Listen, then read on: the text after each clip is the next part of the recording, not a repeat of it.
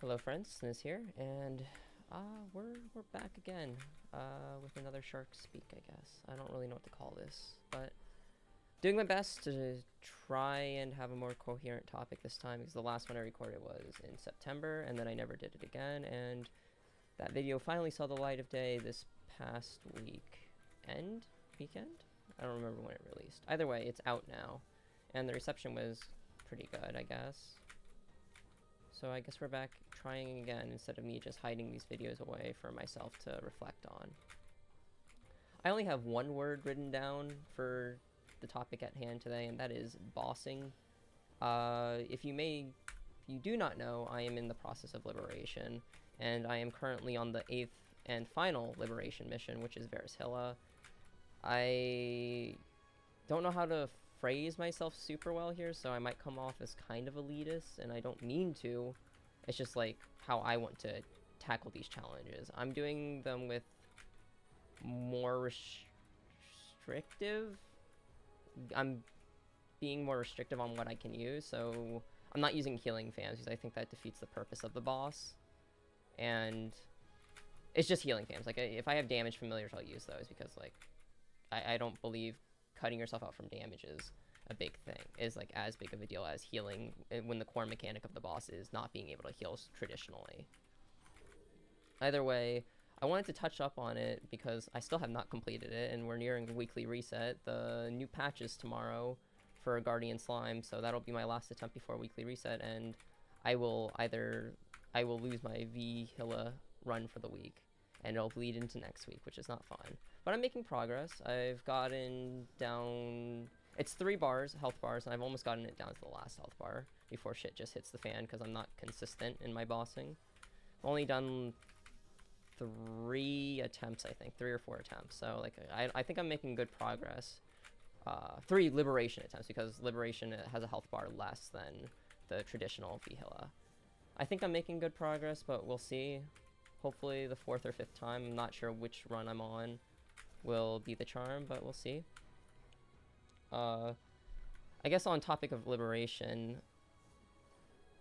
that I also wanted to talk about how I, I did a podcast type thing with Vedu, my party leader for Black Mage, not too long ago. Uh, and in there, I it got cross posted to Reddit, uh, and I saw some comments thought it was kind of elitist how I thought dual liberation was a cop out. But I just wanted to kind of clarify that I do believe it was a cop out, but not for the reasons that were stated that like people inferred. I think it was a cop out because there was fundamental issues with how classes could handle the the solo liberation missions.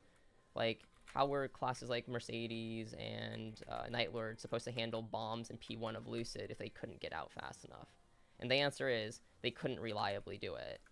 So Nexon eventually had to address those fundamental issues with the bosses, but it took longer and didn't necessarily need to be done. Dual Liberation didn't need to be done. In fact, it gave them an excuse to prolong fixing like other bosses such as Will. Like Will P1 tests, you don't have to have a summon now or an iframe to get through uh, the tests. You can just hit the same side you are to shield yourself and that wasn't a thing when Duo Liberation released. Uh, I, I just think there's, and then there's like just fundamental class design flaws, like certain classes just can't handle certain mechanics easily or very well, if at all, by themselves, and like, yeah, you can say it's always a lack of damage, and, and with Reboot's final damage change, like, it's not really an issue anymore for, like, any class. I think the only class that remains to be seen is Demon Avenger. But even then, like they can cheese, or not even cheese, but they can they can use healing familiars because like using familiars isn't necessarily cheating. It's just using a resource that I prefer not to. I mean, in a party setting, I'll absolutely use healing familiars in V Hilla because coordinating a party to cleanse when someone drops low is ridiculously difficult. And in a solo setting, I find it a lot easier to just make up your mind, oh, I'm going to cleanse. But that's neither here or there. I just think that Duo Liberation was a an excuse to not fix the solo issue, the issues with bosses that were encountered when you were soloing them, specifically when you were soloing them. trying to gather my thoughts right now because that was like the big topic, but I I guess I also just believe that like this is I think with the like if you wanted to call me an elitist for anything, you call me an elitist here. Uh, I think like the duo liberation also kind of doesn't invalidate completely. Like, you still have to learn mechanics for sure. Like there's there's there's no question about that. But I I think the will solo is tremendously different, like way different from uh, a will duo, just due to how the webs work in P3, and how Moonlight Gathering is so so much slower than compared to like normal will. That like you are eventually going to get closed in unless you kill it fast enough, right? Like that's just how it works. You can hold for upwards of like I think the longest hold was like eight or nine minutes in Korea, but like you can hold for ridiculous amounts of time if you're if you're if you're a god gamer. I am not. My clear was a three minute forty five second hold, I think, and that's ridiculously low when the average hold is supposed to be like four minutes for a clear, and that's just the final damage change. Before the final damage change, I was expected to need like four minutes and fifteen seconds to clear. And as soon as the final damage change hits, I was able to like monkey it and clear. Like I had two really bad attempts and I still came super super close to clearing it. That's a water spirit. I guess I should mention I am grinding on Alara right now. It's 238 currently, uh, inside path in Arcana. It's been it's been entertaining. Uh, I like the class a lot, at least for farming, because it's summon farming, and summon farming is always relaxing for me, even though these summons don't last nearly as long as I would like them to. 18 seconds on summons is kind of annoying to just constantly be jumping around to replace them, but like I, I understand why they did it. Giving 30 second summons to especially like summons as strong as Lara's would be kind of ridiculous for KMS. So I can see why they made them a lot more, uh, a lot shorter duration to encourage you to keep moving and keep replacing. But even then, like we can still take advantage of them with spawn enhancers and grind in smaller maps so we don't have to move as far to replace. Lara is... I haven't bossed on Lara much. It seems to have a decent amount of tools. It doesn't have an innate iframe, but it has a huge amount of damage reduction, like 55% damage reduction on, on a hold down skill, which is supposed to shield you. I think there's also a hyper for it, so it gives you an extra HP shield when it's active. But I don't know. I I I haven't really bossed on it extensively. I am currently 14k stat. Uh, we'll eventually try some bossing, like harder bossing. I'm probably gonna go for a Lotus solo after I can down C Vellum, but C Vellum should be pretty simple. All things considered, it's just bind and burst.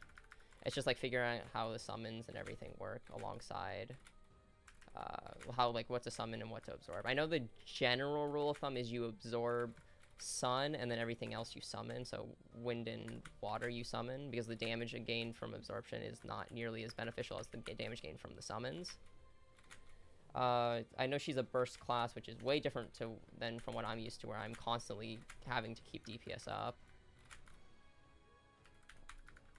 Going back to bossing, I guess I, am working on like all the Tanimir's boss solos now. Dark Darknell is not really getting much effort put into it, but uh, C Gloom is my the next on the chopping block too. I know it was done by Scuba Edamon. He's another Thunderbreaker at two. I don't know what level he is right now, but he he was the third 275 Thunderbreaker, and he soloed it. Uh, I can't see myself soloing Bloom without using the use of the Cur Ring, though, until I unlock Jenny iframe, because some of those darkness patterns are just so ridiculous, and not timing them well, like, if you don't time them well, you're kind of forced into using it, or just taking a death, like, it's either or. Uh, getting back into the swing of things, this map is, I don't normally check my rates, but I wanted to see how I was, how well I was doing compared to others, because I've heard 900 mil rates are possible here, I don't know if it's because I'm not strong enough or because my rotation's bad. It's probably a mix of both, in all honesty, because I'm not full wiping. Uh, but I know I, I'm on pace for 800 mil, which is good. Like 850, I think.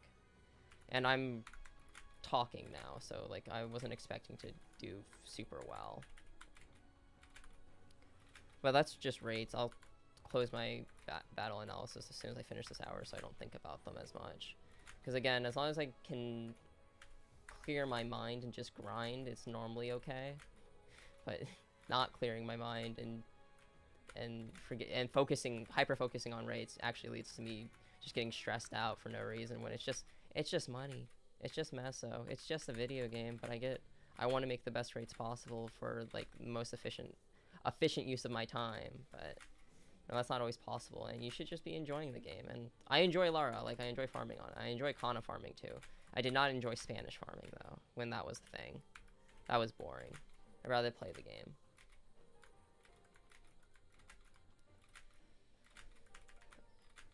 Again, looping back to the bossing, since that was literally the only word I wrote down for this, and I got off topic a little with Lara, uh, but I think it makes sense since I'm playing her.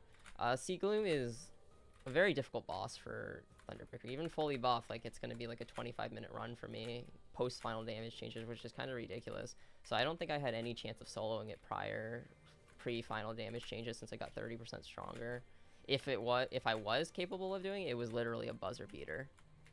But we'll see because I I gotta optimize more and practice more. Maybe I can get it down to like a 20 minute solo. I doubt it because that you're limited in when you can do damage. But well, you know, it's it's good to push yourself.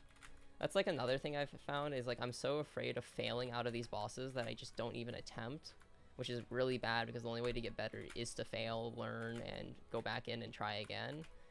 But like I psych myself out by like if I can't do it now, then I'll never be able to do it. But that's not necessarily the case. Like I am capable of learning bosses. I mean, I've gotten through Black Mage literally finishing my first clear with one life and then going to you know not necessarily being in danger of lifing out every every, every subsequent month.